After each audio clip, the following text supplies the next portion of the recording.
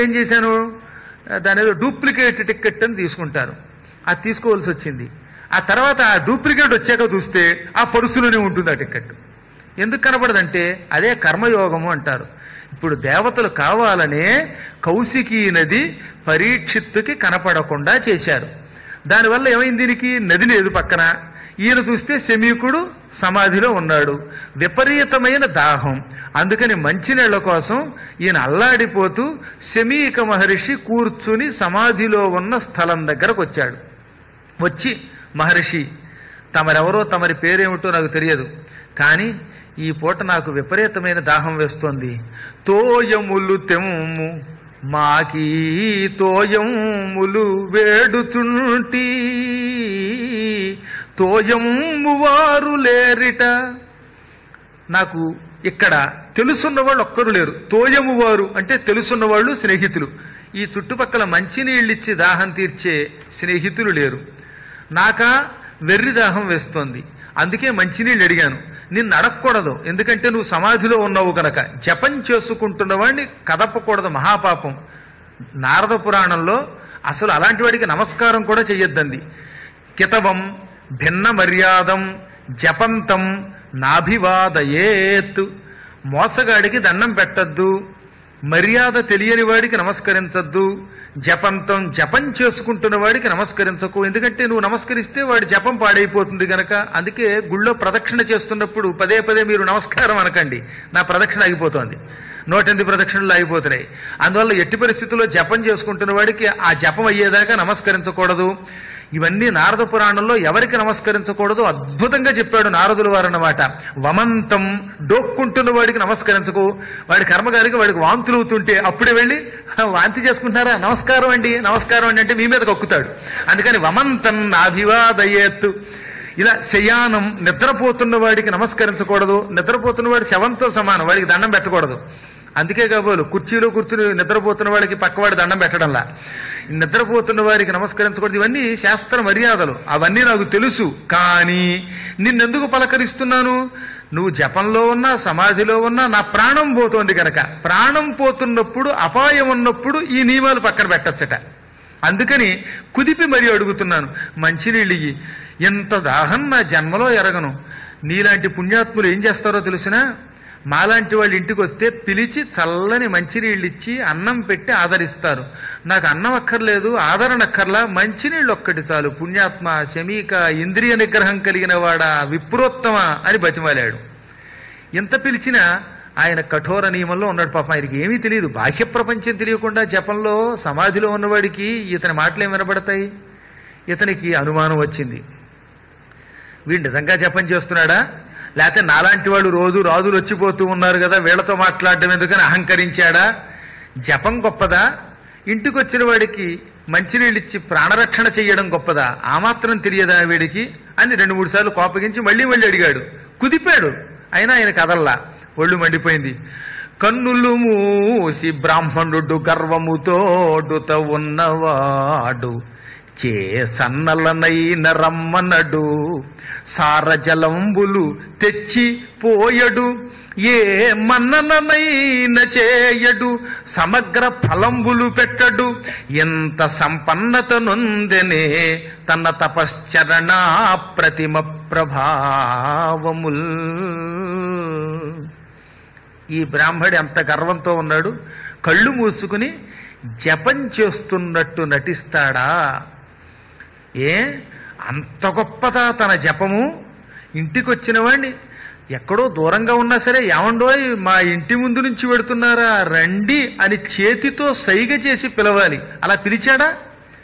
దాహంతో చచ్చిపోతున్నావా ఇదిగో మంచినీళ్ళు అని చల్లని తియ్యని నీరు పొయ్యాలి. అవి పోస్తాడా? పొయ్యడు మన్నించడు. పోని ఇంటి నిండా ఆశ్రమం పక్కనే ఉందిగా ఆశ్రమంలో బోలెడు పళ్ళు కనపడుతున్నాయట. దూరం నుంచే ఆశ్రమం ఆశ్రమంలో రకరకాల పళ్ళు యాపిల్ పళ్ళు బత్తాయి పళ్ళు దానిమ్మ పళ్ళు ఓహరి బాబో పళ్ళు కనపడుతున్నాయి. ఈయన దొంగతనం చేయకూడదు కానీ లేకపోతే ఇంకోటి ఎవడనైతే వీళ్ళ పళ్ళు తీసుకు తినేయచ్చు. అన్ని పళ్ళు కనపడుతున్నాయి. అటువంటి సమగ్ర ఫలంబులు పెట్టడు. రుచి కలిగిన పళ్ళు పెట్టడు. ఇంత సంపన్నత్వం పొందిందా ఈయన తపస్సు? అంటే తపస్సు బాగా సిద్ధించిందని అహంకరిస్తున్నాడు. ఆ ఇది సమాధి ఏమిటి? నాటకం ఇది. నిజంగా సమాధి అయితే ఒకసారి పిలిస్తే పలకరు రెండు సార్లు పిలిస్తే పలకరు. కానీ పట్టి కుదిపితే లేవకుండా ఎవడైనా ఉంటాడా?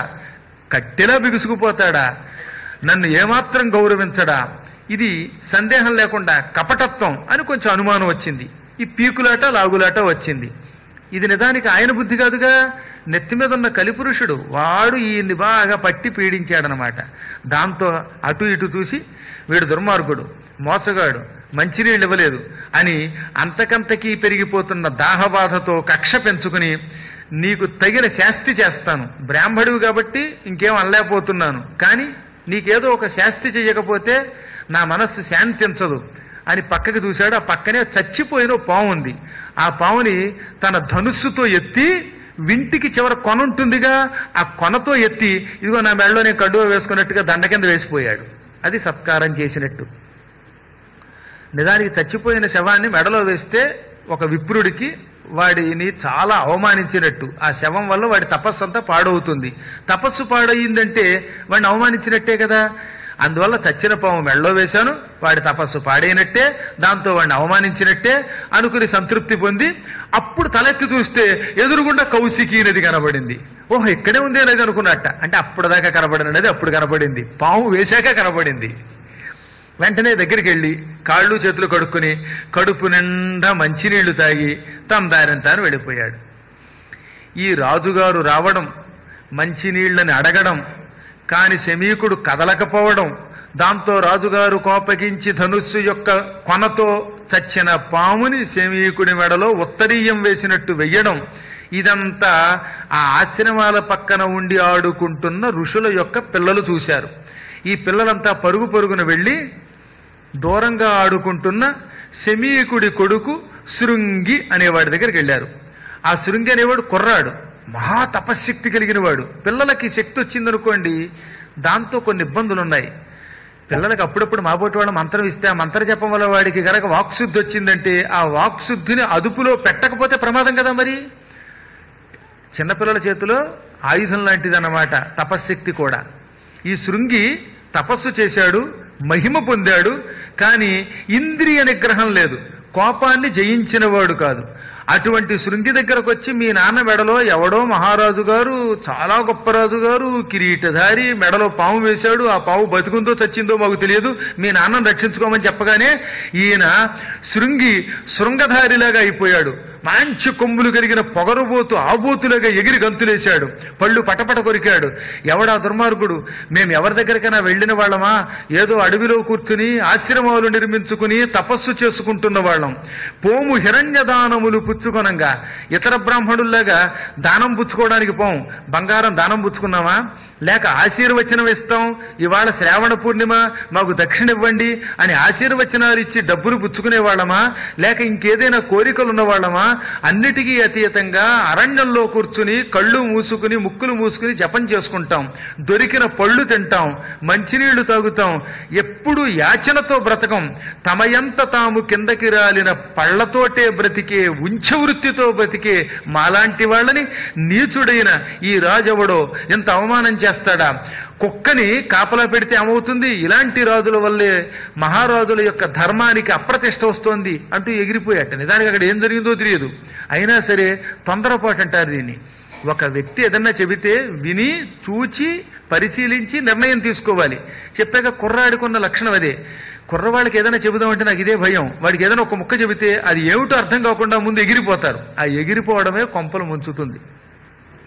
ఒక్క క్షణకాలం నిగ్రహం లేకుండా అతడు నోటికొచ్చినట్టు తిట్టేసి ఆ తర్వాత మా నాన్నని అవమానించిన ఆ రాజు అంతం చూస్తాను అని ఆ క్షణమే కౌశికీ నదిలోకి దిగి కాళ్ళు చేతులు కడుక్కుని ఆచమనం చేసి చేతిలో కాసి నీళ్ళు తీసుకుని ఏ దుర్మార్గుడు మా నాన్న మెడలో పాముని వేశాడో వాడు నేటికి ఏడవ రోజు హరిహరాదులడ్డము వచ్చిననైన చచ్చుతన్నన్నాడు. ఏకంగా అంత శాపం పైగా హరికేశవులడ్డం వచ్చిన నిజంగా హరకేశవులు అడ్డొస్తారా? శివుడు కేశవుడు అడ్డం వచ్చి వాడిని రక్షించినా సరే వాడికి చావు తప్పదు. నేటికి ఏడవ రోజు సూర్యాస్తమయం కాగానే తక్షకుడనే పాము కాటు తిని ఆ క్షణమే చచ్చిపోగాక అని చెప్పించేశాడు ఆయన. తక్షక విషానల హేతి చేత. తక్షకుడి యొక్క విషాగ్ని జ్వాలలతో భస్మైపోగాక ఆనాడు ఆ తక్షకుడి యొక్క విషం నుంచి శివకేశవులు అడ్డం వచ్చినా చచ్చుగాక. అది కూడా ఏడు రోజుల తర్వాతంలా ఏడవ నాడే సూర్యాస్తమయ సమయానికి మరణించుగాక అని చెప్పించి ఆ తర్వాత చూశారా? మా నాన్నని అవమానించిన వాడిని ఎలా శిక్షించానో ఇది నా తపశ్శక్తి అని చుట్టుపక్కల ఉన్న పిల్లలకి చెప్పి పరుగు పరుగున తండ్రి దగ్గరకు వచ్చాడు. మెడలో పాము కనపడింది. పోనీ ఇంత శాపం పెట్టిన వాడు పాము తీయచ్చు కదా? మళ్ళీ భయంట. శాపం అంటే పెట్టాడు కానీ తపశ్శక్తి ఉంది కానీ భయం. అయ్యో మా నాన్న మెడలో పాము ఉంది అది కదులుతోందేమో అది మా నాన్నని కాటేసి చంపుతుందేమో ఎవర్రా వచ్చి కాస్త పాము తీయండి అని చుట్టుపక్కల వాళ్ళని పిలిచాట ఇంత పిరిగివాడు ఇంత శాపం ఇచ్చాడు.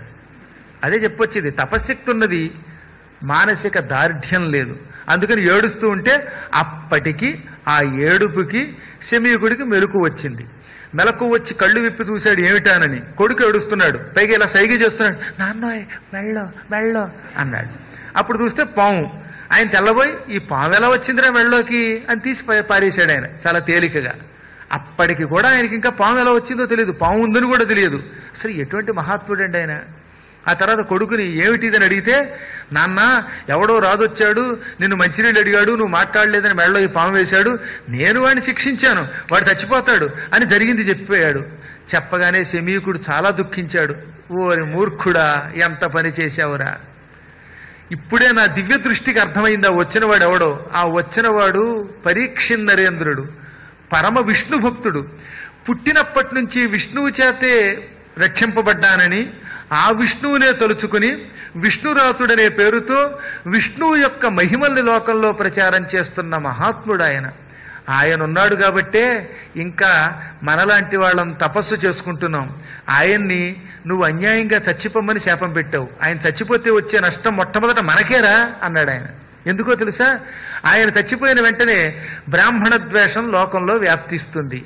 అక్కడి నుంచి అర్చకులు పురోహితులు మొదలైన వ్యవస్థని సమూలంగా నాశనం చేసే వాళ్ళు పుడతారు. ఈ సృష్టిలో ధర్మం నశించిపోతుంది. ధర్మం నాలుగు పాదాల మీద నడుపుతున్న ఆ పుణ్యాత్ముడిని అన్యాయంగా నువ్వు చంపావు. మన పతనం మనమే చేజేతులారా తెచ్చుకున్నట్టయింది. ఆయన ఉన్నంత వరకు కలిపురుషుడు విజృంభించడు. ఆయన చచ్చిపోతే కలిపురుషుడు విజృంభిస్తాడు. గోవుల్ని చంపేవాళ్ళు పెరుగుతారు.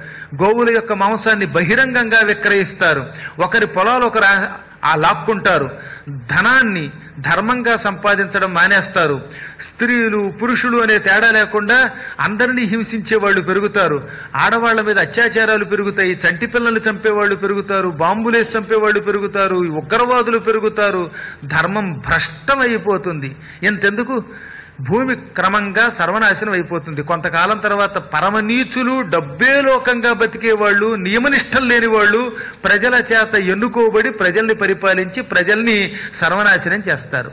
ప్రజల నాశనాన్ని నువ్వు తొందరపడి ఒక్క శాపంతో నిర్ణయించావు. ఛ ఎంత పొరపాటు చేశావు. అని అంతలోనే మళ్ళీ ఏడ్చి కృష్ణ పరంధామ కుర్రవాడు వీడికి జ్ఞానం లేక తొందరపడి శాపం పెట్టాడు. వీడు శాపం పెట్టాడని అందులో పరీక్షిత్తు లాంటి ధర్మాత్ముడిని శాపం పెట్టాడని నువ్వు మాత్రం వీడి మీద కోపగించకు అని కృష్ణుడిని శరణు కోరట ఆయన.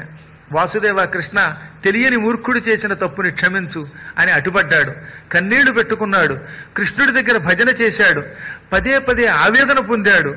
చుట్టుపక్కల వాళ్ళందరినీ పిలిచి ఈ పిల్లవాడు శాపం పెడుతుంటే మీరైనా వారించారు కదే అన్నట్ట. మేమేం చేస్తామండి? క్షణాల మీద నిర్ణయం తీసుకున్నాడండి అన్నారు వాళ్ళు. అప్పుడు ఆయన ఒరే పోనీ ఈ శాపాన్ని వెనక్కి తీసుకోకూడదా? తిప్పకూడదా? అన్నాడు. నాన్నగారు చాలా పొరపాటు చేశానని అని నాకు ఇప్పుడు అర్థమవుతోంది. మీ ఆవేదన చూశాక నేను చేసింది పొరపాటు అని అర్థమైంది. కానీ దురదృష్టం ఏమిటంటే నాకు శాపం పెట్టడం వచ్చు కానీ ఉపసంహరించుకోవడం రాదు. నేను వస్తువుని పాడు చేయగలను బాగు చేయలేను అన్నాడు ఆయన. వస్తువుని పాడు చేయడం అవహరణ చేస్తాం. ఆ మధ్యన ఒకడు వచ్చి నా ఫోన్ తీసి సిమ్ కార్డు తీసేశాడు. ఫోన్ అంతా పాడు చేసి దాని మీద చెయ్యడం దాంతో అందులో ఏం మారుతుందో తెలియదు. ఇదో పెద్ద సమస్య అవుతుంది. అందుకని ఎందుకు చెబుతున్నానంటే వస్తువుల్ని పాడు చేయడం చాలా తేలిక బాగు చేయడం కష్టం. చంపడం ఎంత? మళ్ళీ వాడిని బతికించడం ఎవడి వల్ల అవుతుంది? శాపం ఇవ్వగలను వెనక్కి తీసుకోలేనంటే అప్పుడు ఆయన ఈ నా కుమారుడు చేసిన తప్పుకి ప్రాయశ్చిత్తం లేదు. ఆయన్ని బతికించడం కష్టం. కానీ కనీసం ఈ విషయం రాజుగారికి చెబితే ఆయన తన రక్షణ బాధ్యత తాను చూసుకుంటాడేమో. మళ్ళీ ఈయనకి ఆశ పుట్టింది. ఏమో ఆయన దగ్గర మంత్రవేత్తలు ఉంటారు గనక రాజుగారికి విషయం తెలిస్తే ఆత్మరక్షణ ఉపాయాన్ని అన్వేషిస్తాడు. లేదా కనీసం ఏడు రోజుల్లో మోక్షమైనా పొందుతాడు అనుకుని అప్పటికప్పుడే హుటాహుటిగా ఒక శిష్యుడిచ్చి పంపాడు. ఇంచుమించుగా మధ్యాహ్నం కాబోతున్నది. ఆ సమయానికి హస్తినాపురం వెళ్ళిపోయాడు ఆయన. వెంటనే ఈ శిష్యుడు ఆ విషయాన్ని చెప్పాడు. చెప్పగానే ఈయన ఈ భోజనం మానేసి ఏటికి వేటబోయితి మునీంద్రులనేటికి తిట్టినాడా? పశ్చాత్తాపంతో కుమిలిపోయాడు ఆయన ఈ పూట కర్మయోగం కాకపోతే అసలు వేటాడాలనే కోరిక నాకెందుకు వచ్చింది పోని వేటకి పోయిన వాడిని తిన్నగా ఉండక మునీంద్రుడి ఆశ్రమానికి ఎందుకు వెళ్ళాలి? ఆ సమయంలో నాకంత దాహం ఎందుకు పుట్టాలి? దాహం పుడితే మాత్రం పక్కనున్న చెరువులోనో లేక కాలవలోనో నదిలోనో మంచినీళ్ళు తాగిపోక ఆ మునీశ్వరుణ్ణి పట్టుకుని ఎందుకు పీడించాలి? ఏం చుట్టుపక్కల ఇంకా ఆశ్రమాలు ఉన్నాయిగా అక్కడికి వెళ్ళొచ్చుగా? ఆయన్నే తపస్సులో ఉన్నవాడినే ఎందుకు నేను పరిపరి విధాలుగా ప్రార్థించాలి? పోని ప్రార్థించాను. ఆయన కళ్ళు విప్పకపోతే ఇంకో చోటికి పోకుండా ఆయన మీద ద్వేషంతో మెడలో పాము ఎందుకు వెయ్యాలి? పాము వేస్తే ఆయన కొడుకు ఊరుకుంటాడా? తండ్రికి ఏదైనా అన్యాయం జరిగితే కొడుకులు క్షమిస్తారా? నాకు తగిన శాస్తి అయ్యింది. నా దగ్గర శక్తి ఉంది. నేను తలుచుకుంటే ఆ శృంగిని ఇప్పుడే శపించి నాశనం చేయగలను. కానీ ఇప్పటికే ఓ పొరపాటు చేసిన నేను ఇంకో పొరపాటు ఎందుకు చేస్తాను అనుకున్నాడు నిజంగా పరీక్షితు తలుచుకుని ఇంకో శాపం పెడితే శృంగి భస్మం అయిపోతాట. కానీ భాగవతోత్తములు అలాంటి పని చెయ్యరు. నా పొరపాటుకి శిక్ష అనుభవిస్తున్నాను. ఇంకొకరిని శిక్షించకూడదు. అందులో అటువంటి మహాత్ముల జోలికి అసలు వెళ్ళకూడదు అనుకున్నాడు. ఇప్పుడు ఏం చెయ్యాలి? కాలం దురతిక్రమం భయంకరం. ఇటువంటి కాలమును నమ్ముకుని ఇంకా రాజ్యంలో ఉండకూడదు. ఈ క్షణమే ఏదో ఒక నిర్ణయం తీసుకుందాం అనుకున్నాడు. వెంటనే జనమేజయ మహారాజుని తన కొడుకుని చిన్నవాడిని పిలిచాడు. చాలా కుర్రాడు అప్పటికైనా ఆ కుర్రవాడిని పిలిచి నాయనా నువ్వు అందరిలోకి పెద్దవాడివి నా నలుగురు కొడుకుల్లోకి హస్తినాపుర సింహాసనాన్ని నువ్వే పరిపాలించు. ధర్మం తప్పకు విప్రుల జోలికి వెళ్ళకు గోవుల జోలికి వెళ్ళకని చెప్పి హెచ్చరించి కిరీటం నెత్తి మీద పెట్టి గొప్ప ధనరాశిని తెప్పించి ఆ ధనరాశిని ఇవన్నీ కేవలం క్షణాలలో చేశాడు ఆయన. ఎక్కువ సమయం తీసుకోలేదు. దాన ధర్మాలు చేశాడు. మహానుభావులైన ఋషులకి బ్రాహ్మణోత్తములకి పేదవారికి కుక్కలకి అందరికీ అన్నదానం చేశాడు. ఆ తర్వాత అన్నిటినీ త్యజించి భార్యను కూడా త్యజించి కొంతమంది పరివారాన్ని వెంట పెట్టుకుని నారవస్త్రాలు ధరించి హుటాహుటిన ఒక్క ఘడియ కాలంలో గంగా నదీ తీరానికి వెళ్ళిపోయాడు. ఢిల్లీ నుంచి డైరెక్ట్గా వెడితే అరగంటలో వెళ్ళిపోవచ్చు. అలా కాకుండా ఇప్పుడు వేసిన రూట్లో వెడితే ఆయన వెళ్ళిన గంగా తీరం దానికి సుఖస్థలము అని పేరు. ఇప్పుడంతా ట్రాఫిక్లు డొంక రూట్లు కదా. ఇప్పుడు ఇంచుమించుకో రెండు గంటలు పడుతుంది. కారులో వెడితే ఢిల్లీ నుంచి రెండు గంటల్లో పరీక్షిత్తు భాగవతం విన్న స్థలానికి వెళ్ళొచ్చు. అది గంగా నదీ తీరం. హరిద్వార్ వెళ్ళే రూట్లో మధ్యలో మిర్జాపూర్ డిస్టిక్ట్ ఒకటి ఉంటుంది. ఆ రూట్లోకి వెళ్ళాలన్నమాట. మేము అక్కడ సుఖస్థలంలో రెండు వేల ఆరో సంవత్సరంలో భాగవత్ సప్తాహం చేశాం. చాలా ప్రశాంతమైన మర్రి చెట్లతోటి రావి చెట్లతో కూడిన స్థలం. అక్కడ గంగానదో పక్కన ప్రవహిస్తూ ఉంటుంది. అక్కడ ఏడు రోజులు పురాణం చెబుతూ ఉంటే ఏదో తెలియని ప్రశాంతత అండి అక్కడ. అక్కడికి ఈ పరీక్షిత్ వెళ్ళిపోయాడు. గంగానదీ తీరంలో మరణించినా చాలు. అక్కడ కాసేపు కూర్చున్నా చాలు. ఇంకెక్కడున్నా మోక్షం రాదు. కానీ గంగానదీ తీరంలో ఉంటే మాత్రం గంగలో మరణించిన వాడికి మోక్షం వస్తుందని శాస్త్రాలు చెప్పాయి కనుక అక్కడికి వెళ్ళిపోయాడు ఆయన. కొంచెం పరివారంతో.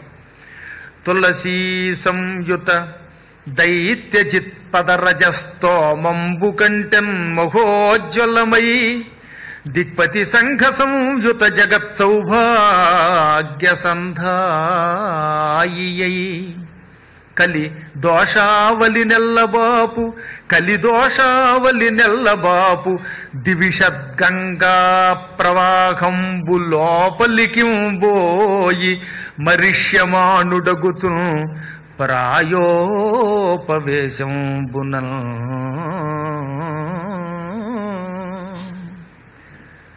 ఒక గొప్ప నది ఉన్నది. ఆ నది ఒక దివ్యస్థలం నుంచి పుట్టింది. అందుకే దానికి ఆ నదికి అంత పేరు అంత పవిత్రత. ఎక్కడి నుంచి పుట్టింది అంటే నిరంతరము తులసీమాలలు మెడలో ధరించి లోకాన్ని అనుగ్రహించే ఒక దేవదేవుడు ఉన్నాడు ఇంతకీ ఆయన ఎవరు? నిరంతరం తులసీమాలలు ధరించేవాడు శ్రీమన్నారాయణుడు. తులసీమాలలు ధరించి రాక్షసుల్ని సంహరించే పరమ పూజ్యుడైన నారాయణుని పాదముల నుండి పుట్టింది. అది ఈ పద్యానికి అర్థం. తులసి సంయుత తులసితో కూడిన దైత్య జిత్ రాక్షసుల్ని సంహరించిన ఎవరైనా శ్రీమన్నారాయణుడు. ఆయన యొక్క పదరజస్తోమంబు కంటెన్. ఆయన పాదముల నుండి పుట్టిన ధూళితో సమానముగా పుట్టి మహోజ్వలమై మహాప్రకాశవంతముగా ఉన్న గంగానది దగ్గరికి వెళ్ళాడు. ఈ పద్యం ఒకటి రెండు సార్లు ఎందుకు జాగ్రత్తగా చెబుతున్నానంటే ఒక ఆయన ఈ మధ్యకాలంలో భాగవతం విన్నాను. చాలామంది భాగవతం చెబుతూ ఉంటారు కదా. ఆయన ఏమన్నాడంటే శ్రీ మహావిష్ణువు పాదధూళి కంటే పవిత్రమైన గంగ దగ్గరికి వెళ్ళాడని చెప్పాడు ఆయన. కంటెన్ అంటే దానికంటే అని అర్థం చెబుతున్నాడు ఆయన. కంటెన్ అంటే అక్కడ అది కాదు అర్థం. నుండి అని అర్థం. వలన కంటే నుండి పట్టి వీటన్నిటికీ సమానార్థములు. కాబట్టి పాద రజస్సు నుండి పుట్టినా అని అర్థం చెప్పాలి. అందుకే మూలం కూడా చదవాలి. మూలం చదివిన అర్థం కాకపోతే పెద్దలను అడిగి తెలుసుకోవాలి. అలా చెప్పకపోతే అర్థం మారిపోతుంది వ్యర్థమైపోతుంది. తులసీమాలలు ధరించిన రాక్షసుణ్ణి సంహరించిన శ్రీ మహావిష్ణువు పాదముల నుండి పుట్టి ప్రకాశిస్తున్న గంగ దగ్గరికి వెళ్ళాడు అని దీనికి అర్థం. శ్రీ మహావిష్ణువు పాదధూళి నుంచే పుట్టింది పూర్వం గంగ. దానికి ఉదాహరణ ఏమిటి? శ్రీకృష్ణుడు తన కాలు వామనావతారంలో పైకెత్తాడు. అప్పుడు ఆ కాళ్ళని బ్రహ్మదేవుడు కమండలంతో కడిగాడు. అప్పుడు అది గంగా అనే పేరుతో భూమికి ప్రవహించినట్టుగా మనం భవిష్యత్తులో వామనావతార ఘట్టంలో చెప్పుకుంటాం. కాబట్టి ఇక్కడ కంటెన్ అంటే ఆ పాద రజము నుండి పుట్టిన అని అర్థం చెప్పాలన్నమాట. అంతేగాని దానికంటే ఇది ఎక్కువ ప్రకాశిస్తోందని కాదు. విష్ణువు పాదాల కంటే బాగా ప్రకాశిస్తోందని అర్థం చెప్పాడు అందుకని. కొంచెం జాగ్రత్తగా దీని అర్థం తెలుసుకోవాలి. ఇంతకీ శ్రీ మహావిష్ణువు పాదముల నుండి పుట్టినటువంటి గంగా నదీ తీరం దగ్గరికి వెళ్ళాడు ఎవరు? పరీక్షిత్తు. ఆ గంగానది ఎటువంటిది? నిరంతరం అక్కడికి దెప్పాలకులు వచ్చి అందులో స్నానం చేస్తారు. గంగలో స్నానం చేయడానికి ఇంద్రుడు అగ్ని యముడు నిర్వృతి వరుణుడు వాయువు కుబేరుడు ఈశానుడు అని పిలువబడే ఎనిమిది మంది దిక్పాలకులు వచ్చి అందులో స్నానం చేస్తారు. దిక్పాలకుల చేత సేవింపబడే పవిత్రమైన నది అది. మామూలు నది కాదు. కలిదోషావలి నెల్ల పాపు. మనం కలియుగంలో చేసే పాపాలన్నిటినీ నాశనం చేస్తుంది. కలిపురుషుడు భయపడేది ఒక గంగకే. అందుకే గంగని నాశనం చేయడానికి కలిపురుషుడు మనల్ని వినియోగిస్తాట మనం గంగలో స్నానం చేస్తే కలి మనల్ని ఏమీ చేయలేడు. కలి దోషం తొలగుతుంది. కాబట్టి ఇప్పుడు మనం కలికి లొంగాలంటే గంగలో మనం స్నానం చేయకూడదు. స్నానం చేయకూడదంటే గంగ మనకి అసహ్యం కలిగేలా ఉండాలి. అందుకనే మన చేత దాన్ని కాలుష్యం చేయిస్తున్నట్టు ఆయన. ఇప్పుడు మీకు అర్థమైందా? కలి ఎందుకు గంగా నదిని పాడు చేస్తున్నాడు. గంగ పాడైతే మనం స్నానం చెయ్యం మనం స్నానం చేయకపోతే వాడిని ఏం చేయలేం. మనం అందులో స్నానం చేస్తే కలి మనల్ని ఏం చేయలేడు. ఇప్పుడు మన కర్తవ్యం ఏమిటనమాట? కలిపురుషుడికి లొంగకూడదు. గంగని బాగు చెయ్యాలి. అందుకే కలిపురుషుడికి లొంగకుండా గంగని పాడు చేసే ఒక మహానుభావుణ్ణి మనకి ప్రధానమంత్రిగా పంపెట్ట విష్ణుమూర్తి. ఆనాడు ఒక నరేంద్రుడు. ఎవరు? వివేకానందుడు. ఈనాడు మరొక నరేంద్రుడు. గంగ మీదే పడ్డారు. ఆయన చూడడం? రావగానే గంగని ప్రక్షాళనం మొదలెట్టారు. నేను ఇదివరకు గంగకి వెడితే విసిగిపోయేవాడిని భయపడిపోయేవాడిని. కిందన్ని పెంకులు మురికి చెత్త చెదారం. ఈ మధ్యకాలంలో గంగకెడితే ఉన్న నీళ్ళే ఎంత బాగుంటాయండి ప్రశాంతంగా ఉంటున్నాయి.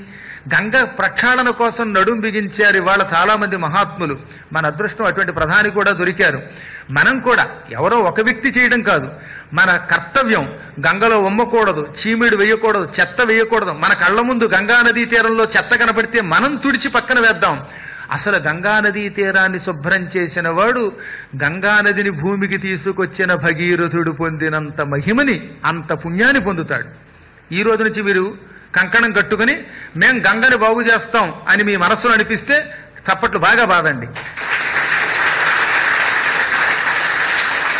మనస్ఫూర్తిగా బాదండి. మొహమాటంతో లేకుండా బాదండి. ఎందుకు చెబుతున్నాను? అంటే గంగ యొక్క లక్షణం గంగలో స్నానం చేసిన వాడికి కలి దోషమంతా పోతుంది. అందుకల్లా ప్రత్యేకంగా ఈ పద్యంలో కలిదోషావలి నెల్లవాపు దివిషద్గంగా ప్రవాహంబు లోపలికింపోయి కలిదోషాన్ని తొలగించి ఆకాశగంగా ప్రవాహం మధ్యలోకి వెళ్ళాడు. ఎందుకంటే మధ్యలో కొంత ఇసుక తిండి ఉన్నది. అక్కడ ఒక ఒంటి స్తంభం మేడగట్టుకుని అక్కడే కూర్చున్నాడు ఆ ఇసుక తిండిలో. మరిష్యమానుడగుతున్ ఇంకా చావు కోసం ఎదురు చూస్తున్నాడు. మరిష్యమానుడు అంటే చావడానికి సిద్ధపడినవాడు. చావడానికి ముందు ఇంకా ఏడు రోజులు ఏం తినలేదు ఆయన. ప్రాయోపవేశంబునన్. అంటే ఆ ఇసుకలో దర్భలు పరుచుకుని కేవలం గాలి మాత్రమే సేకరిస్తూ మిగతా అప్పటికే ఒక రోజు మధ్యాహ్నం అయిపోయింది. ఏడో రోజు కూడా పూర్తిగా ఉంటుందో లేదో తెలియదు. కాబట్టి కాలం దగ్గరకు వచ్చింది. ఉన్న కాలం సద్వినియోగం అవ్వాలి.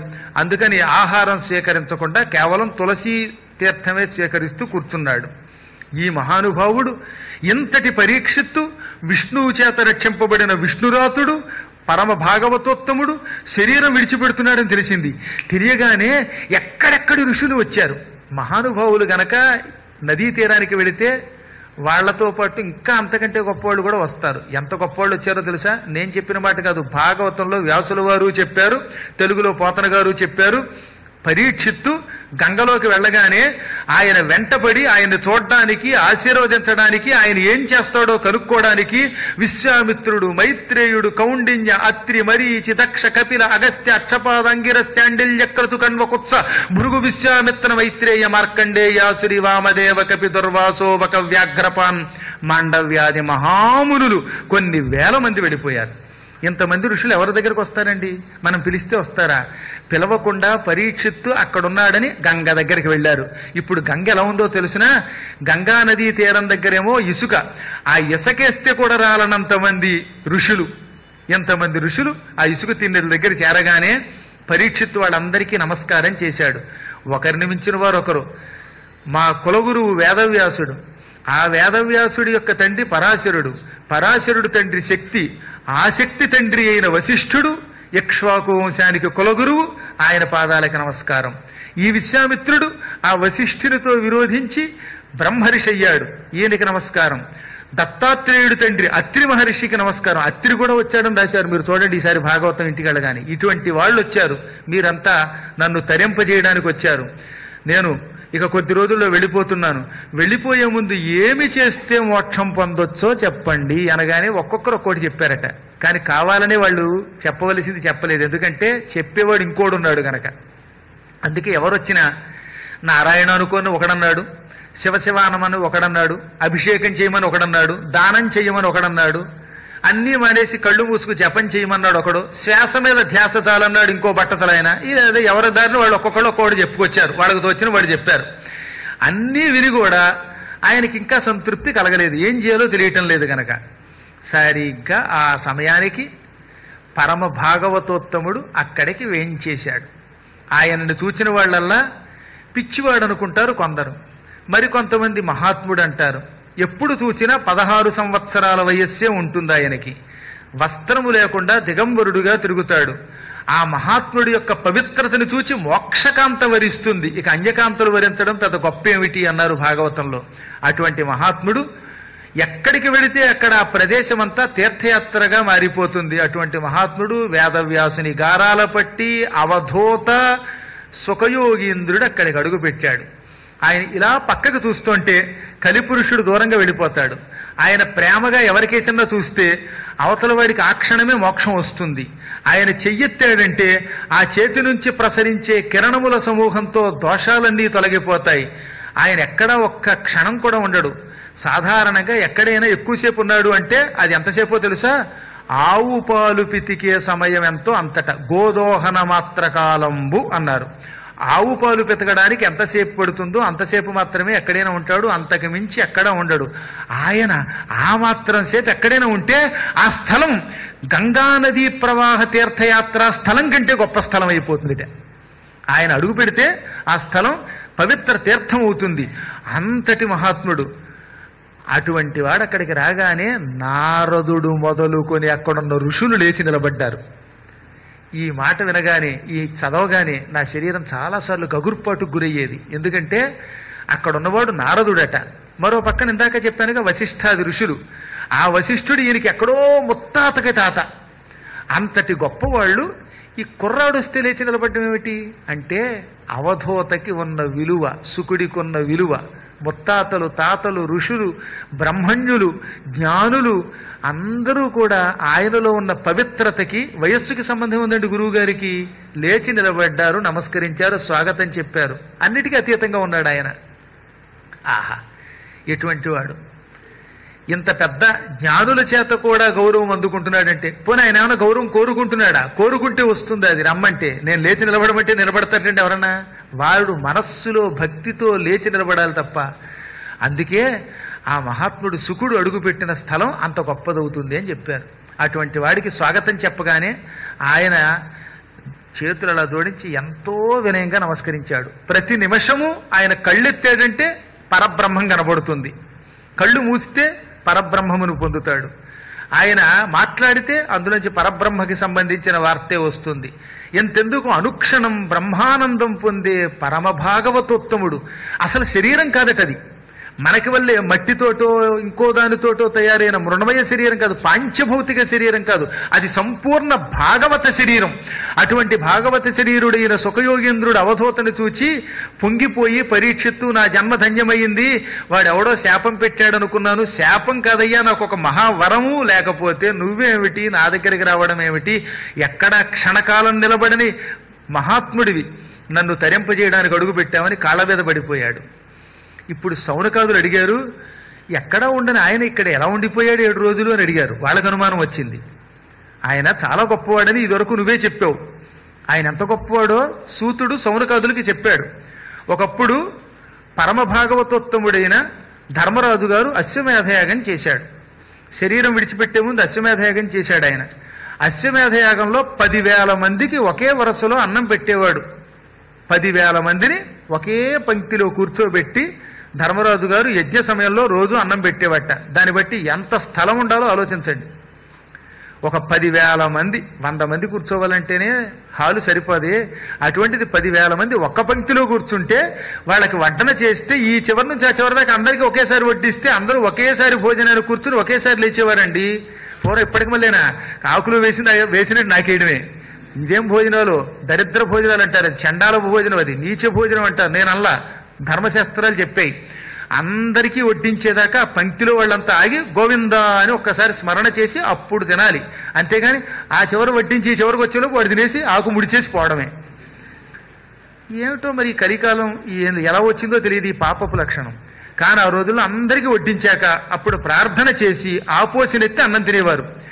ఆ చివరివాడు ఈ చివరివాడు ఒకేసారి మొదలుపెట్టి ఒకేసారి ఆపాలి. అందరూ ఆఖరిని గోవిందాన్ని లేవాలి. అలా లేచి లేవగానే ఈ పదివేల మంది అప్పుడు ఒకసారి ఒక గంట టంగను కొట్టేవారట. అంటే గంట మోగిందంటే అర్థం ఏంటనమాట పదివేల మంది ఒక్కసారి భోజనం చేసి లేచి చేతులు కడుక్కోవడానికి వెడుతున్నారు. అలాంటి గంట ఒక రోజున గణగణ తనంతా తానే మోగడం మొదలెట్టింది. ఎవరు మోయించకుండా గంట మోగుతోంది పైగా. ధర్మరాజు గారికి అనుమానం వచ్చి పది వేల మంది తిడితే ఒక్కసారే టింగు మనాలి? ఈ గంట టింగు టింగు టింగు టింగ్ అని తనంత తాను మోగుతోంది. కారణం ఏమిటని వస్తే ఆ గంట ఆకాశంలో వేళ్ళాడుతున్న గంట ఎవరూ కొట్టకుండా మోగుతోంది. పోనీ ఎవరూ కొట్టకుండా దాన్ని ఆపుదామంటే ఆపిన ఆగట్లా? దాంతో ధర్మరాజుకు అనుమానం వచ్చింది. కృష్ణ ఇదేం విచిత్రం? ఈ గంట తన ఎంత తాను మోగుతోంది? ఆపితే కూడా ఆకుండా గణగణలాడుతోంది పదివేల మంది భోంచేస్తే మాత్రమే కదా ఈ గంట మోగాలి మరి ఎందుకు మోగుతోందంటే అప్పుడు కృష్ణుడు పకపకానవి కొన్ని కోట్ల మంది కోట్ల మంది కోట్ల మంది మహానుభావులు ఇక్కడ భోంచేశారు అందుకే గంట మోగుతోందన్నట్ట. ఈయనకి మతిపోయింది. అంతమంది ఎక్కడ తిన్నారయ్యా? తిన్నది పదివేల మందే కదా అన్నాడు ఆయన. నీ కంటికి కనపడర్లే ఇలా రా అని కృష్ణుడు ధర్మరాజును తీసుకొచ్చాడు ఓ చోటకి అక్కడ అన్నం వండి గంజి వారుస్తున్నారు వంట వాళ్ళు గంజి వార్చడానికి వాళ్ళు ఏం చేశారు? పెద్ద గొయ్యి ఒకటి తవ్వి ఆ గొయ్యి మీద వెదురు కర్రలు పెట్టి ఆ వెదురు కర్రల మీద గంప పెట్టి అన్నం దాని మీద పోసేవారట. పోస్తే ఏమవుతుంది ఇప్పుడు? ఈ వెదురు గంప మీద అన్నం పడిపోయి గంజి కింద గుంటలోకి వెళ్ళిపోతుంది పై అన్నమేమో వేరే గంగాళాల్లోకి తీసేవారు. అలా పూర్వం గంజి వార్చేవారు. పూర్వం గంజి వార్చడం అని ఒకటి ఉండేదిలేండి. కుక్కర్లు కుయ్యి కుయ్యి అంటే తీసేవారు కాదు. ఇప్పుడు ఆ గంజి గుంటలో పడిందిట. ఆ గుంటలోకి ఒక పురుషుడు వచ్చాడు. ఆయనకి పదహారేళ్ళు ఉంటాయి. ఆ గంజి గుంట దగ్గరకు వచ్చి ఆ వేడి వేడి గంజి ఒక గుప్పెడు తీసుకుని ఇలా తాగేట. ఆయన గుప్పెడు గంజి తాగితే ఈ గంటలా మోగుతోంది. ఇప్పుడు అర్థమైందా? ఆయనే సుఖయోగీంద్రుడు ధర్మరాజు పెట్టిన అన్నం కూడా తినలేదు. ఆ అన్నం పెట్టడం కోసం గంజి వారిస్తే ఆ గంజిలో ఒక్క గుప్పెడు ఆయన తగితే ఆ గుప్పెడుకి ఈ గంట ఎంత మోగింది? అంటే అర్థం ఏమిటనమాట ఆయనొక్కడు ఎంత గుప్పెడు గంజి తాగితే కొన్ని కోట్ల మంది అన్నం తిన్న పుణ్యం వచ్చింది ధర్మరాజుకి. అందుకే కొన్ని కోట్ల మంది లెక్కలేనంత మంది అన్నం తింటే వచ్చి మోగేటటువంటి గంట మోగినట్టు మోగిందనమాట అది. ఆ గంట మోగిందంటే అన్ని కోట్ల మంది తిన్నట్టే. తిన్నది ఒక్కడే. ఒక్కడికి అన్నం పెడితే అంతమందికి అన్నం పెట్టిన పుణ్యం వచ్చింది. పోనీ అన్నం కూడా కదా గంజి. అది ఆయన మహిమ. అటువంటి మహానుభావుడు అసలు ఎక్కడికి వెళ్ళడు? ఏదో అతి కష్టం మీద ఆనాడు హస్తినాపురానికి వెళ్ళి ధర్మరాజు గారిని అనుగ్రహించాడు. ఇంతకీ ధర్మరాజుని ఎందుకు అనుగ్రహించాడు అంటే ధర్మరాజు గారి ధర్మం. ధర్మరాజు ధర్మానికి మెచ్చుకుని కృష్ణుడు వచ్చాడు. కృష్ణుడు ఉన్నప్పుడు ధర్మరాజును అనుగ్రహిద్దాం ఆ అన్నం నేను తిందాం. కృష్ణుడి యొక్క స్పర్శకి దృష్టికి నోచుకున్న అన్నం తింటే నేను తరిస్తాను. నా అన్నం తినడం వల్ల నేను అన్నం తినడం వల్ల ధర్మరాజు తరిస్తాడని ఉపకారం చేయడానికి వచ్చాడు సుకుడు. అటువంటి సుకుడు ఏడు రోజులు ఎలా ఉండగలిగాడు గంగా నదీ తీరంలో? అసలు పరీక్షిత్తుకి ఏం చెప్పాడు? ఆ విశేషాలన్నీ వివరించమని సౌనకాదులు అడిగారు. అప్పుడు చెప్పాడు ఆయన మీరే చెప్పారు కదా నా కథని?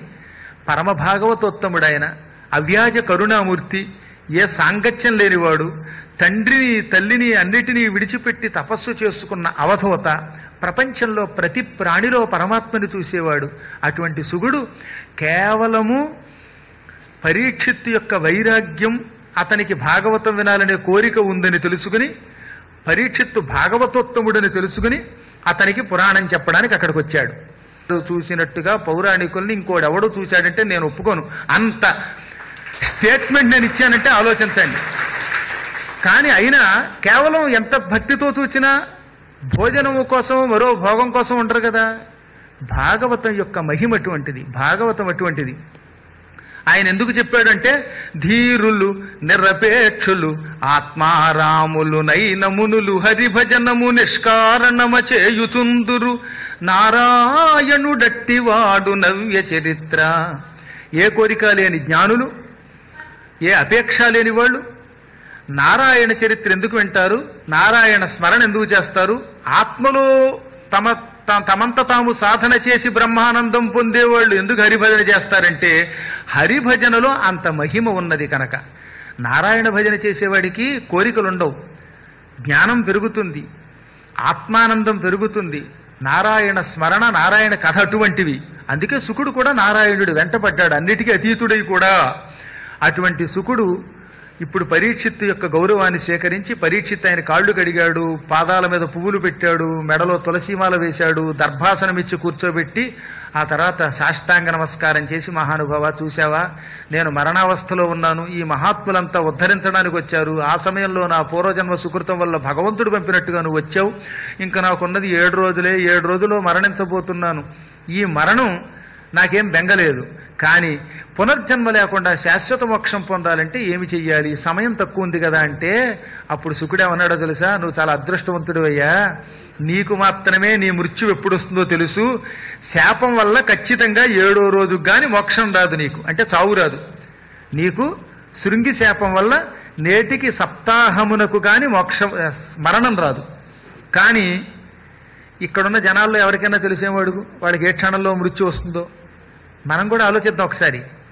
శాపం వల్ల గ్యారంటీగా ఆయనకి ఏడు రోజులు గ్యారంటీ కార్డు ఒకటి ఉంది. కానీ మనకో అనుకోవడానికి మనం నూరేళ్ళు ఉంటామని ఎల్ఐసి చేయించుకుంటున్నాం కానీ మనకి ఏ క్షణంలో ఏమొస్తుందో మనకే తెలియదు. ఆలోచించండి ఒక్క క్షణకాలంలో. ఎవరికైనా గ్యారంటీ కార్డు ఉందా? నాకు చాలా కాలం క్రితం ఒక సంఘటన జరిగింది. మా అన్నయ్య గారు ఓ పిచ్చ ఫ్యాన్ ఒకటి కొన్నారు. పద్నాలుగేళ్ళు గ్యారంటీ ఇచ్చాట.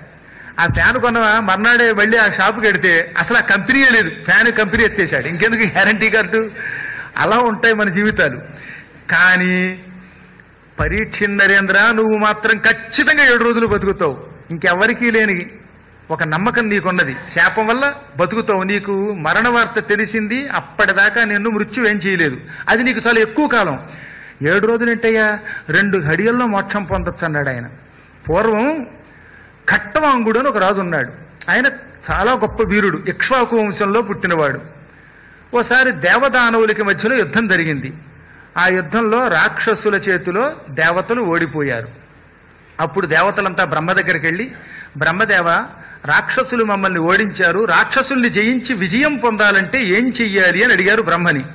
అప్పుడు ఆయన అన్నాడు అనే ఒక రాజు ఉన్నాడు. ఆయన ఎవరి వేపు యుద్ధంలో పాల్గొంటే వారికి విజయం వస్తుంది. ఇక్ష్వాకు వంశస్థుడు. ఆ ఖట్టవాంగుడిని బతిమాలి మీ వేపుకు తెచ్చుకున్నారంటే మీకు విజయం తథ్యం రాక్షసులు ఓడిపోతారు అన్నాడు బ్రహ్మ. వెంటనే దేవతలు పరుగు పరుగున భూలోకానికి వచ్చి ఖట్టవాంగుడిని బతిమాలారు. ఆయన ఇంద్రుడి యొక్క రథం ఎక్కి ఇంద్రుడికి సాయంగా యుద్ధానికి వెళ్ళి రాక్షసుల్ని చీల్చి చెండాడాడు. విజయం వచ్చింది దేవతలకి. అప్పుడు దేవతలు మెచ్చుకుని నీకేం కావాలో కోరుకో అన్నారు. అప్పుడు ఆయన అన్నాడు నాకు మోక్షం ఇవ్వగలరా? అన్నాడు. మేము మోక్షం ఇవ్వలేం పిచ్చి కోరికలు తెచ్చగలం గాని మోక్షం మేమెక్కడిస్తాం విష్ణువు తప్ప? అన్నారు. అయితే నా ఆయువు ఎంత? అన్నాడు ఆయన. నీకు రెండే రెండు గడియలు ఇంక రెండు గడియల్లో నువ్వు చచ్చిపోతున్నావు అన్నారట. ఓహో అయితే వెంటనే విమానం ఇవ్వండి అని దివ్య విమానంలో ఆయన తన రాజ్యానికి వచ్చేసి అయోధ్య సింహాసనాన్ని కొడుక్కి పట్టాభిషేకం చేసి తన సంపదలన్నీ దానం చేసి వెంటనే కృష్ణ గోవింద ముకుంద ముకుంద కృష్ణ అని ధ్యానం చేశాడు. ఆ కృష్ణ స్మరణ చేయటం వల్ల కృష్ణ కథ వినడం వల్ల వెంటనే వైకుంఠం నుంచి విమానం వచ్చింది. విమానం ఎక్కి ఖట్వాంగ మహారాజు వైకుంఠానికి పోయాడు. రెండు గడియలలో వాసుదేవ స్మరణ చేసి మోక్షం వాడు పొందితే ఏడు రోజుల్లో నువ్వు మోక్షం పొందవటయ్యా భాగవతం వింటే. కాబట్టి నువ్వు అదృష్టవంతుడివి భాగవతం విను బాగవుతావు అన్నాడు ఆయన. నిజంగా భాగవతం గొప్పదండి పదిసార్లు భాగవతం భాగవతం భాగవతం భాగవతం భాగవతం బాగవుతాం. ఆ శబ్దం పలగ్గా బాగవుతాం. అంత గొప్ప శక్తి ఉన్నది. అనగానే ఆయన చాలా సంతోషించాడు. అద్భుతంగా భాగవత గాథని సుకుని ద్వారా విన్నాడు. ఆ విశేషాలన్నీ రేపు ఐదో రోజు కార్యక్రమంలో ముచ్చటించుకుందాం. మళ్ళీ రేపు సాయంత్రం కరెక్ట్గా ఆరు ఇరవై కల్లా వచ్చేస్తే మనం ప్రార్థన చేసుకుని పైన కూర్చుని కృష్ణాష్టకం చెప్పుకుని మళ్ళీ కథ కొనసాగించుకుందాం. వీలున్నప్పుడల్లా ఒక ఐదు పది నిమిషాలు ఎక్కువ తీసుకున్నా వినండి. ఎందుకంటే నలభై రోజుల్లో సంపూర్ణంగా సాధ్యమైనంత వరకు అందించాలని నా కోరిక. మళ్ళీ కలుసుకునేదాకా స్వస్తి ప్రజాభ్య పరిపాలయంతాం. न्याय्येन मार्गेण महीम् महीषाः। गोब्राह्मणेभ्यः स्वभमस्तु नित्यम् लोकाः समस्ताः सुखिनो भवन्तु।